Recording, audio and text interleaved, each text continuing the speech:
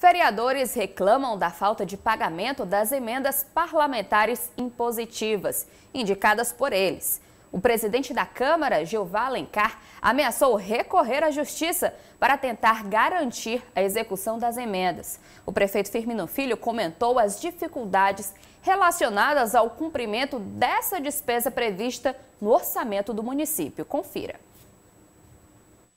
Nós estamos na a maior crise econômica da nossa história, ao longo do tempo, nós tivemos muita dificuldade nos últimos três anos de cumprir várias obrigações. E não é só Teresina, não. Você anda pelo Piauí, anda pelo Brasil e vê vários governos estaduais com contas atrasadas, você anda por ver várias prefeituras com contas atrasadas. Então, nós tivemos dificuldade nos últimos dois anos de cumprir essas emendas.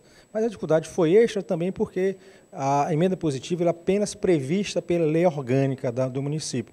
Não tem nenhum processo de regulação. Então, isso, isso é, não nos permite gerenciar a, a demanda dos vereadores. Não, exatamente por isso que o Tribunal de Contas do Estado do Piauí fez uma auditoria sobre isso. Ele tem, teve duas conclusões importantes. Ele disse o seguinte, primeiro que não existe nenhum problema de natureza política. Não teve nenhuma discriminação, quer dizer, ou seja, quem é da oposição não foi perseguido, quem é da base foi privilegiado. E segundo, que de fato a prefeitura tem muita dificuldade na execução dessas emendas, por quê? Porque as emendas, elas não têm regulamentação.